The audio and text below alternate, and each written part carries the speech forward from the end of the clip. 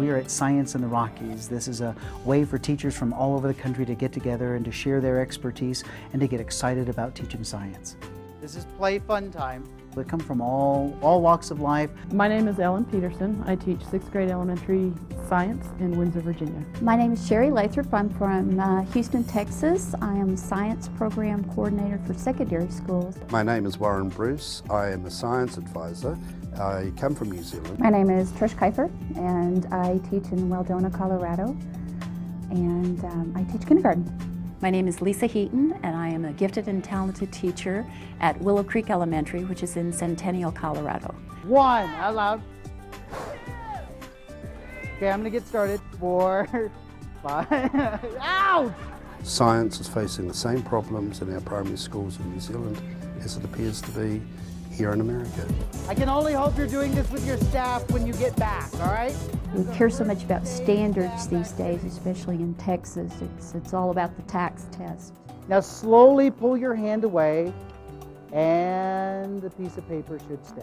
Science has taken a back seat. This is the gee whiz part. If we're not measuring it, we're probably not focusing on it. Now, every kid wants to be under the water. In order to learn about the world around you, you need to be curious about it, and that's what science is about. the surface tension machine.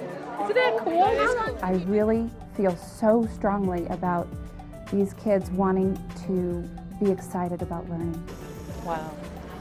I want to be able to infect the other people around me to be as excited about science as I am. Just the infection, the, the, the science, uh, wow, that's really cool. If we shake it this way, we can make the square go this way. We can make it go this way. Um, I think if we just have the willingness to, to explore, get messy, It reminds me what I am trying to develop and encourage in kids. I'm the student, but I'm also learning to become the teacher. She's vacuum packed like a piece of chicken. See this? if we're motivated, the kids are going to be motivated no matter what age we teach. So I want those kids to have those aha, wow, that's cool moments.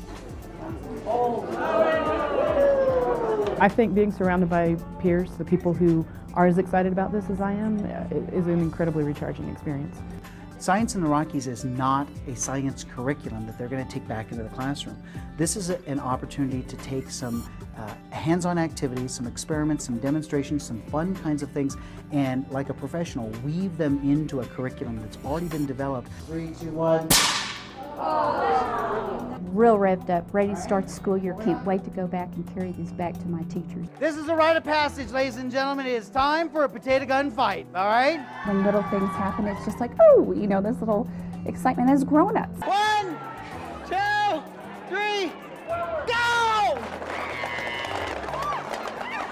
And, and I can only imagine how kids can be. I mean, we are, we're just, we're just large kids. And um, part of what I see is people being in touch with that little child inside. Whatever age they teach, they can see, they can reach that one student.